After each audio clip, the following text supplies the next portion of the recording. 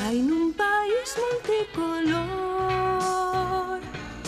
una bellina bajo sol. Es muy famosa no lugar. Siempre ah, dispuesta ayudar.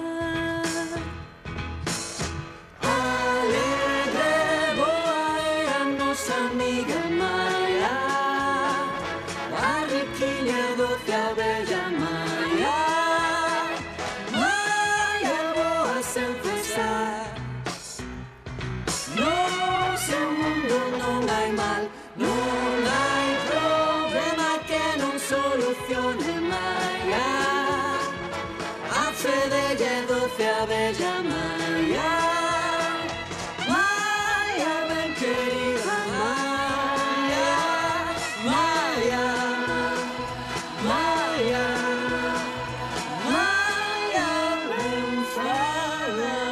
Max ten problemas de saúde.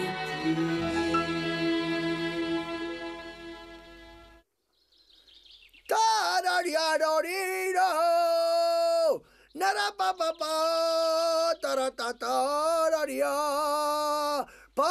pa tara ta lo riaro Por que me tedes que interromper cando estou ensaiando? Estamos aquí, Flip.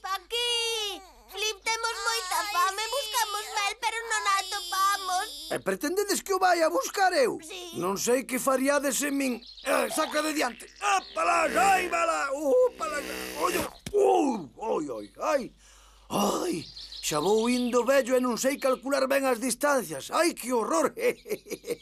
ai, que vos pasa? Dicides que estades mortos de fame. A ver, por onde estivestes buscando flores? Por todos os sitios, coas treboadas destes días están todas as flores pechadas.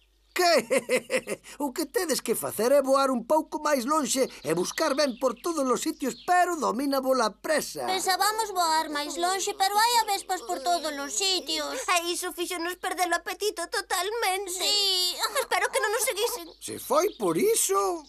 Entendo, aquí estamos a salvo, aínda que veñan esas avespas. E non teñades medo, aquí estou eu, para protexervos.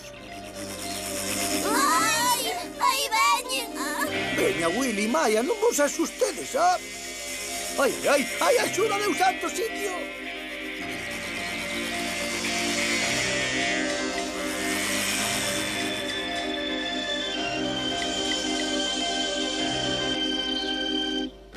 Un, dous, tres, catro. Un, dous, tres, catro. Un, dous, tres, catro. Compañía, alto!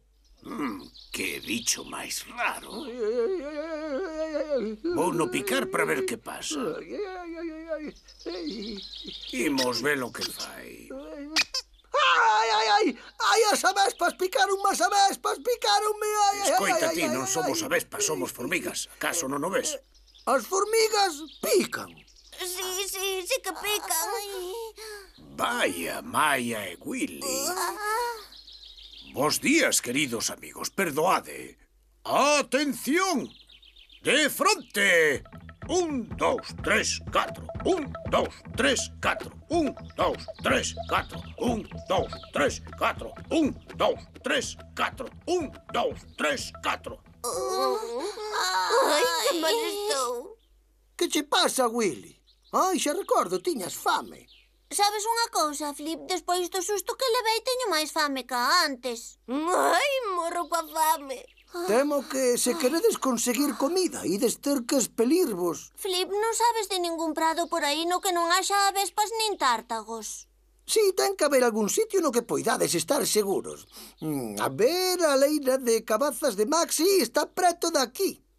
O zume de cabaza é bo é de moito alimento Polo menos deixáronos iso na escola Non nos podes levar ali Mellor que nos traeas un tarriño aquí Como vos vou levar ali? Podías nos levar no colo Está claro que hoxe non imos poder voar máis, non, señor? No colo?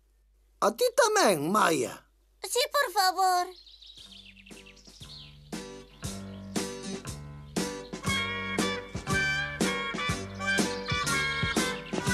Vai, está claro que hoxe non é o meu día. Primeiro pican máis formigas e agora isto.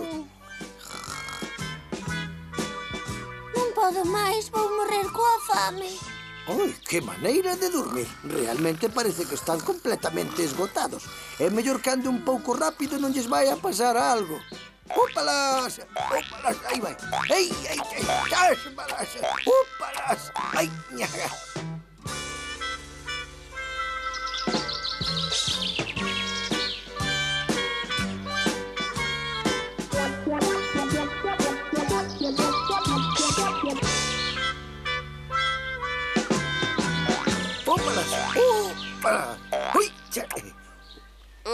Soltade, xa chegamos á leira de cabazas.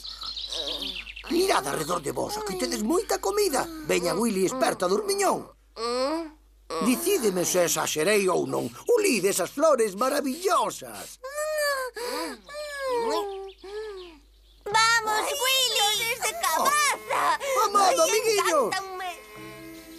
Que pasa, Flip? Non podemos empezar a comer. Como podedes ser tan mal educados? Hai que pedir permiso ao dono. Importaríache facelo por nós, Flip. A ti daseche moito mellor facer esas cousas, non crees? Tens razón, Willy. En que dirección vas ir ti, Maya? Cara a este lado. Moi ben, daquelo vou por aquí. Nos meus tempos ninguén esquecía nunca os modais. Ninguén, ninguén. Ai, que ben, cantas flores hai aquí.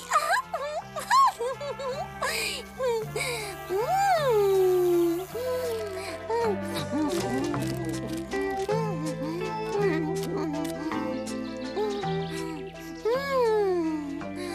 razão, Willy.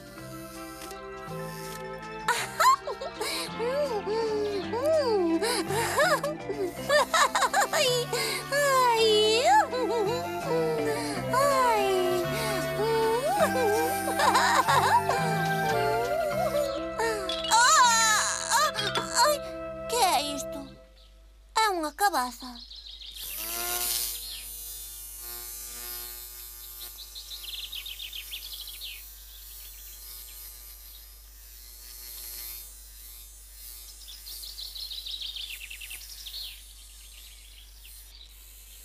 Cacho cabaza máis enorme, moito tardei en dar a volta arredor. Eh? Onde estará Willy? Willy!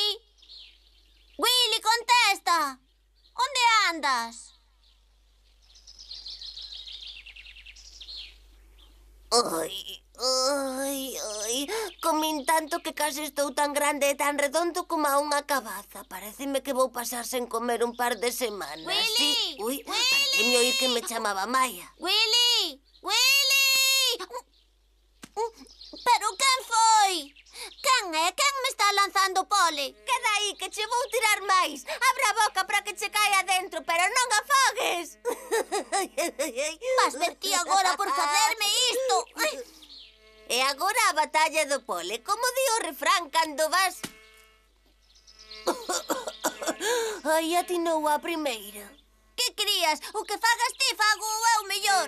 Xa empezou a pelexa. Ai, fallaches. Non lle darías nin a unha montaña.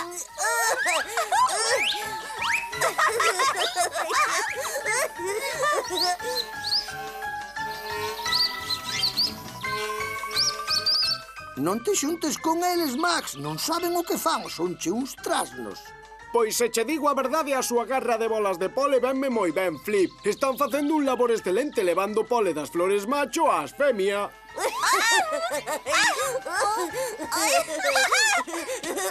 a mí non me... Ai, ten máis ti no Ah, Non me dadas... Ai, toma! Toma!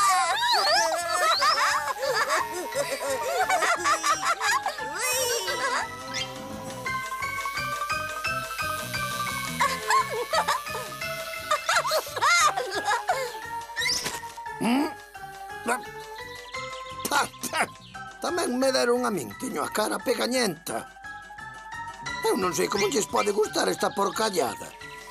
Ai, ai, non, tan grande non, ai, ai, iso non é xusto. Ai, tan grande non, tan grande non. Ai.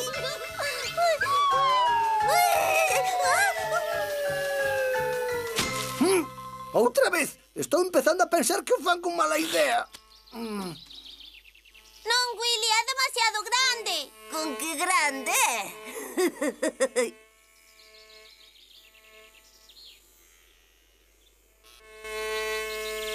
¿Eh? No, no, no, no, no, no. Oi.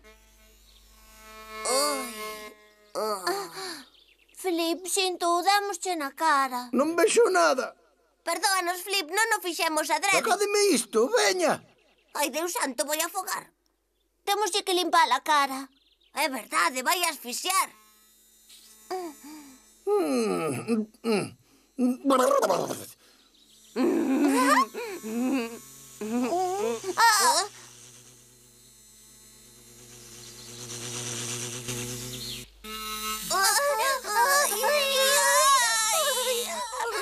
Pero que pasa, que pasa?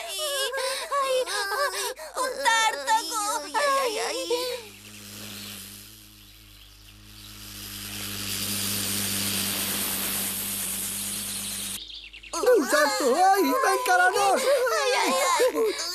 Para já. Ai.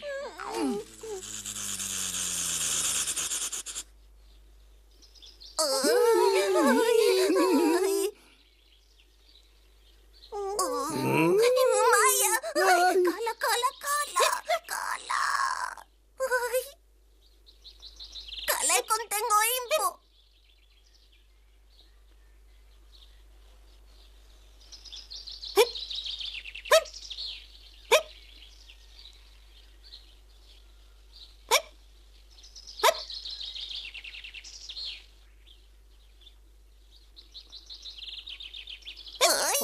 Ixe non para, vaise decatar de que estamos aquí. Maia, non fagas tanto eh. ruido que nos vai oír.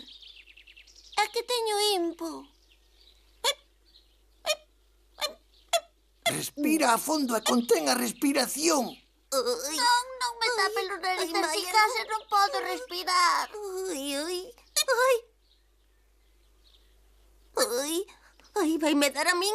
Estás poñendo morada, mm. Flip. Ai. ¡Ay! ¡Ay, qué me da! ¡Ay, qué me da! ¡Ay!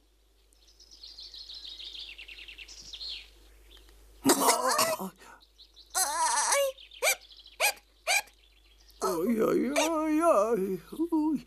Ay. Ay.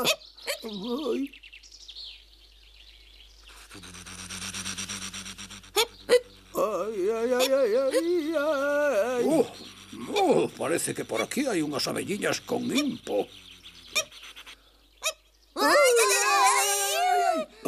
Dúas abelliñas amorosas e un saltón faise babota boca a auga. Que comida tan suculenta. Oh.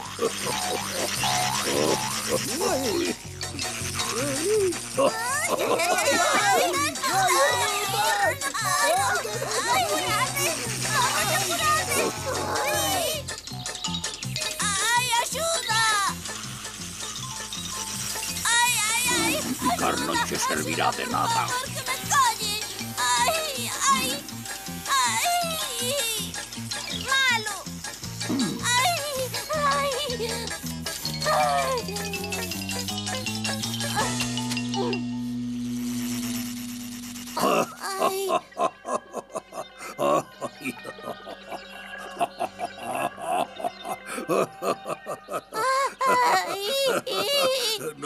dixen que non conseguirías escapar.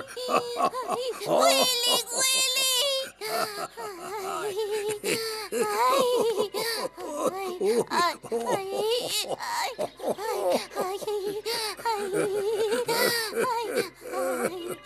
Agora verás. Non se te ocorra chegarte a min ou pico te comeu a guillón. Mm, así que tes gana de xogar, eh? Vas ver o que son de facer. Ai, ai. Pensas en serio que me vas a asustar co teu aguillón?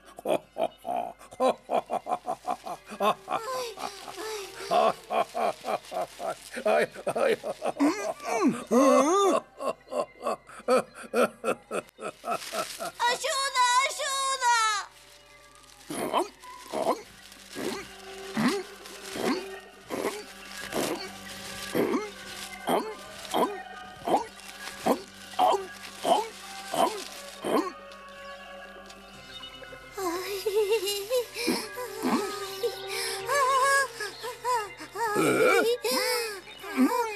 Rápido, Maya, métete no burato.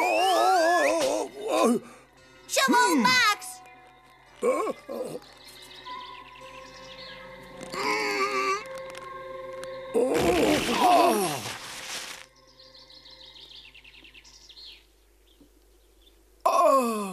Estou esgotado. Mm? Maya, métete no burato que ven o tártago, non me oiches? Sí, Max, xa vou.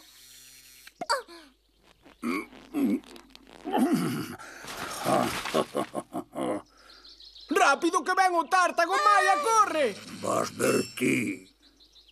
Ai, ai, ai, ai, picou o tártago, Maia! Ai, que dis?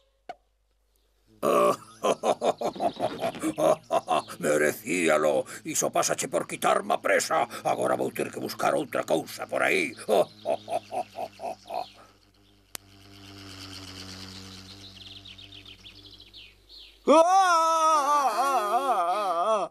Doeche moito, Max. Sí, moito, estou hinchado. Ai. Ai, Maia, como me doi, é horrible. Ai. Que podo facer por ti, Max? Vou ter que ir buscar un médico. Agarda aquí por min.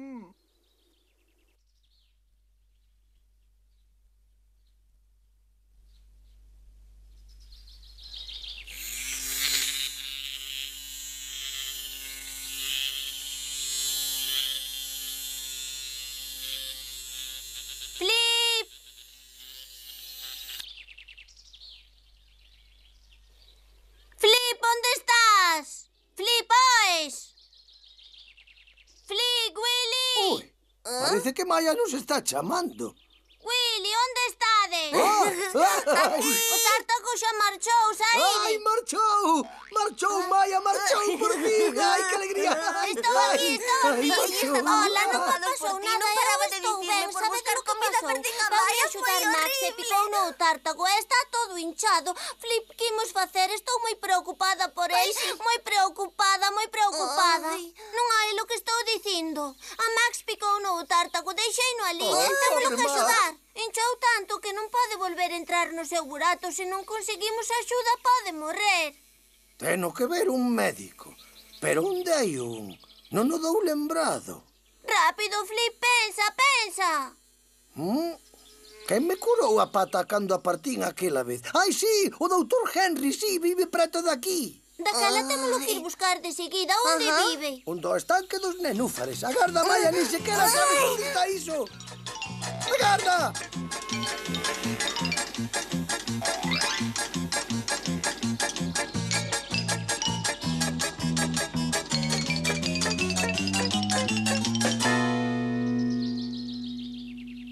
santo, creo que se trata dun caso moi grave. Haberá que operar. Que di? Hai que operar? Sí, haille que extraer o veleno do tártago, e iso é cousa do meu estimado colega o cirurxán. Podo volo presentar. É a miña man dereita se un caracol pode usar esa expresión. Encantado. Chámome Sniff. Mm. Uh, uh. É unha cadela de frade e usa as súas coitelas para operar. Perdoa, Maia. Estou me esforzando, pero non podo apurar máis. Doutor Henry, por favor, faga un esforzo, empurra, Willy. Máis rápido, máis rápido. Sería terrible que chegásemos tarde. Non podedes esperar máis de min. Empeza a doer o lombo. Non podo apurar máis. Non se preocupe, iso pasa. Eu pensei que nunca me ia pasar o impo e pasoume completamente, vamos.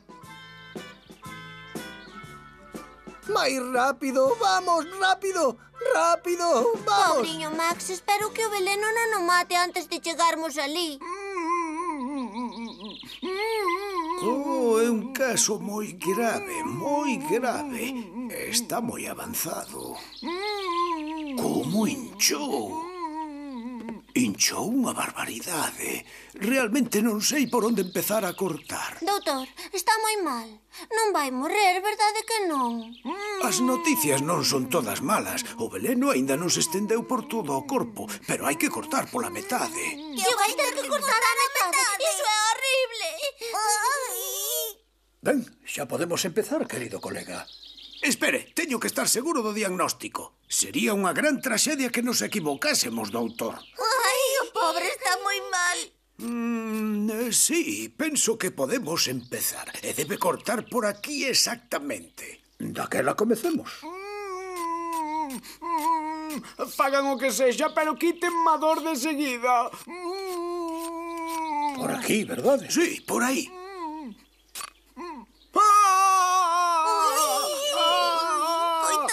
Sinto, señor Max, pero agora vexo que o veleno se estendeu e hai que cortar un pouco máis. Ah! Xa estamos acabando. Síntome moito mellor. Xa está. Podedes abrir os ollos, xa rematamos. Ui, xa remataron.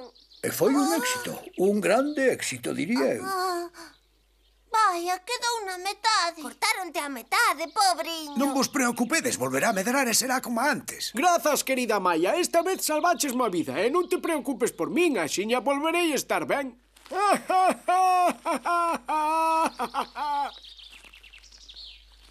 É vos moito máis fácil arrastrarse cando un é un pouco máis curto. Ah, sí. Agora teño que comer todo o que poida para medrar rapidamente. Sí, iso é o que debo facer.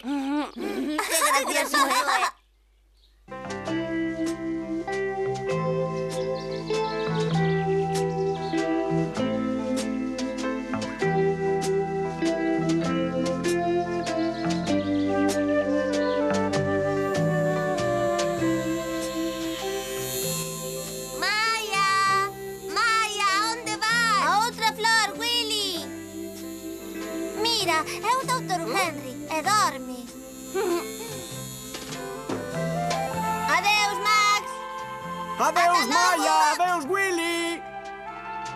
Dentro dun par de semanas estarei como. Mm.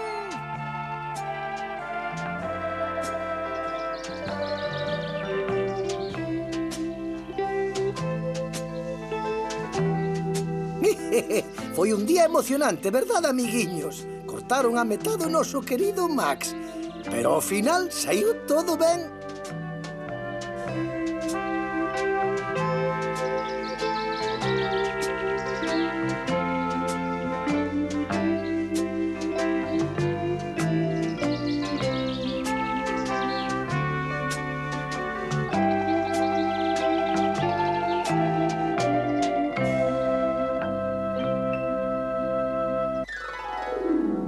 se o conto que acabades de ver foi emocionante, ui, amiguiños, xa veredelo próximo.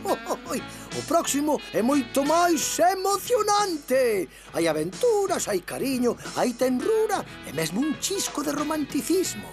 Maia vais encontrar nunha situación moi... Eh, eh, pero non, non vos quero revelar nada. Ata a próxima!